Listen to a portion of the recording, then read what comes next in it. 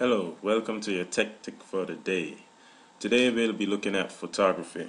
So, what is photography?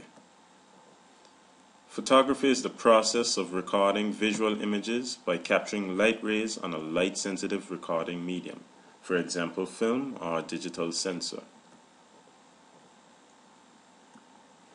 How can images be captured? A camera is used to record visual images to a recording medium. In a traditional camera, the recording medium is film, and in a digital camera, it is a light sensor. Common camera parts. A camera is made up of several different parts which allow it to function. These parts are the body, the lens, aperture, shutter, and the viewfinder. Let's start with the body. The body is a light tight compartment to house the recording medium, which can either be film or the digital sensor. A digital sensor's sensitivity is measured in ISO numbers. And ISO stands for the International Organization for Standard. In this case, it relates to the standards for photography. The lower the number, the less sensitive the camera is to light, and the higher and the finer the grain is. The higher the number, the more sensitive the camera is to light, and the noisier the grain is. To demonstrate, an ISO of 6 to 4 is, has a sharper image than an ISO of 1600. As you can see, the ISO 1600 has more noise or is more grainier than the lower ISO number. Lens. This is a transparent element to focus light rays onto the recording medium. Lens are identified by their focal lengths, which is defined as the distance from the middle of this lens to the image sensor. So here we can see the focal length is defined from the middle of the lens to the image sensor.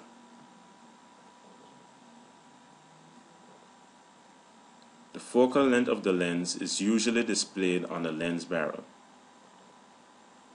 Some lenses can zoom to adjust their focal lengths. It is then written as a range of values, for example, 55 to 250 millimeters.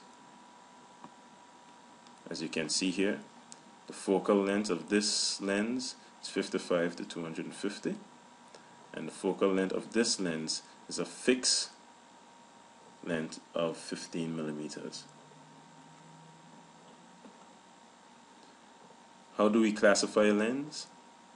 Well, a lens is determined as a wide angle if it has less than 50 millimeters.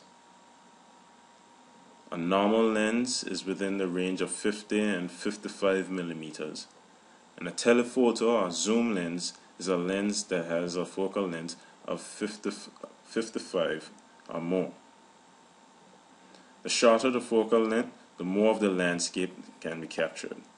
For example, here in this top photo, the focal length is 18 millimeters and it captures a wide area of subjects. For example, the appliance card and the two bottles. Aperture. This is the size of the opening in the lens when a picture is taken. It controls the amount of light that reaches the recording, recording medium. Aperture is measured in f-stops. The larger apertures have a smaller f-stop and allows lots of light to get through. Small apertures have a larger f-stop and allow less light to pass. For example, an f-stop of 2.8 allows more light to enter the lens than an f-stop of f11 as you can see here. Shutter speed. This is the amount of time that the shutter stays open. It controls how long the recording medium is exposed to the incoming light.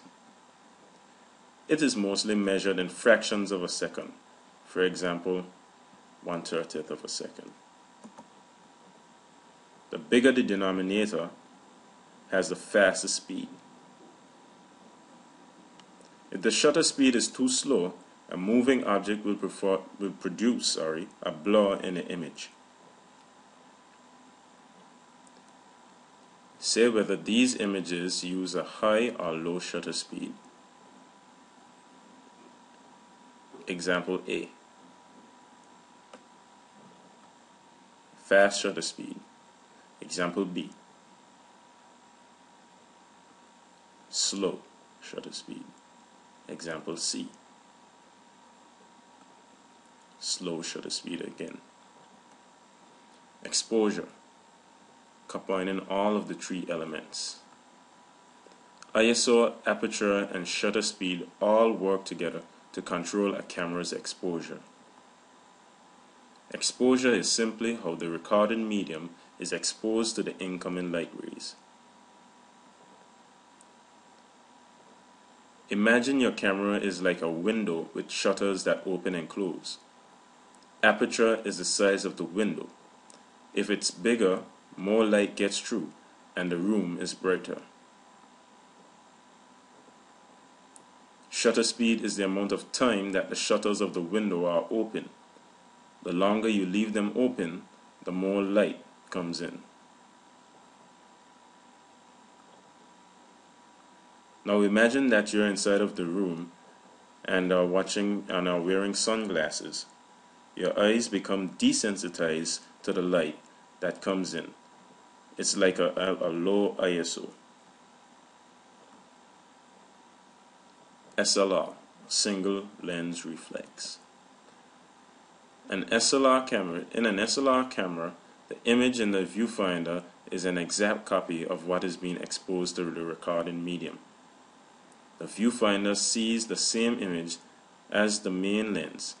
For example, what you see is what you get. This improves accuracy and allows for a better composition of the photographs. SLRs allow you to change lenses for different purposes. This is a hugely popular type of camera, pretty much the standard for enthusiasts and professionals.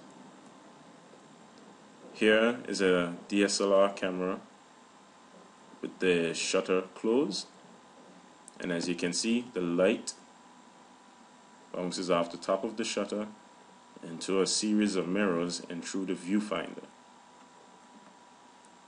When the shutter is open, the light goes directly to the recording medium. Thank you for watching and stay tuned for more tutorials. Goodbye.